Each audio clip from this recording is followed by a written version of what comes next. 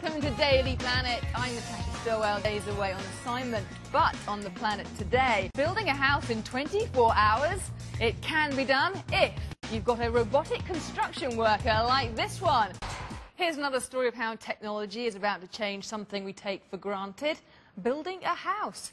Construction is a labour-intensive and time-consuming process but not for too much longer if one scientist can perfect a whole new way of building a house using a single robot.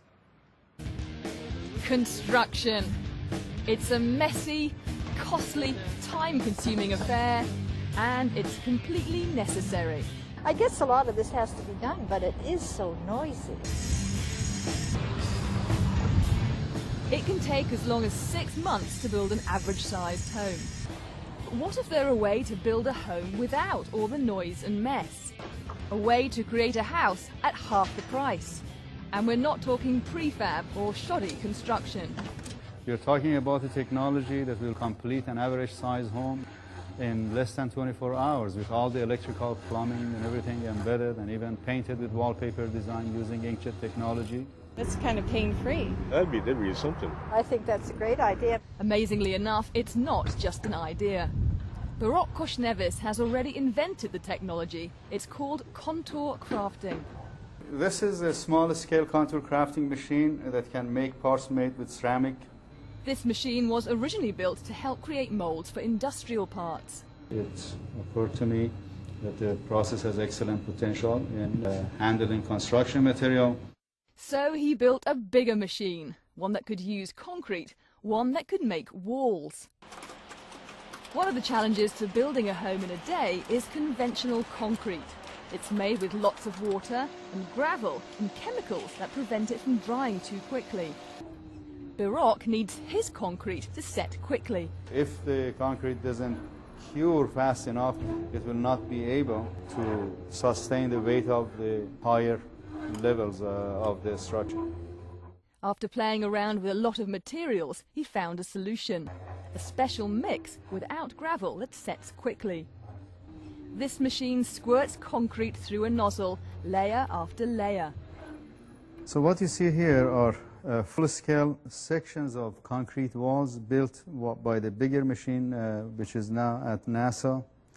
Uh, they are using that machine to explore the applicability for lunar construction. With that success under his belt, Behrokh decided to take the next step.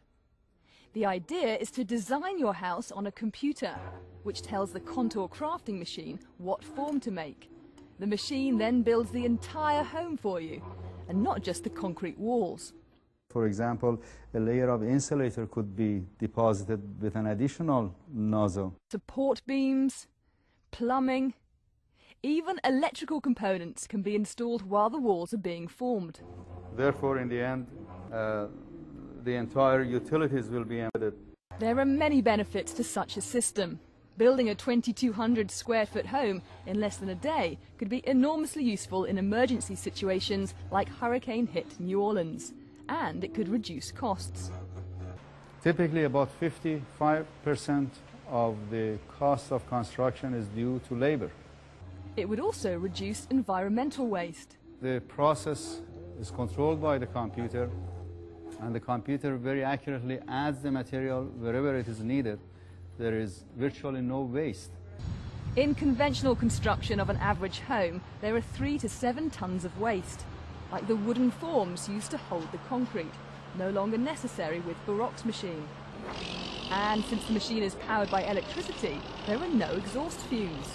Which leaves only one concern, what happens to all the people employed in the construction business? It does not eliminate necessarily the need for human involvement, it just elevates the nature of the tasks that are involved, uh, less of muscle work and more of creative power. Behrokh plans to have a full-scale working model up and running soon. If it turns out to be as versatile as he says, it will undoubtedly revolutionize the construction industry.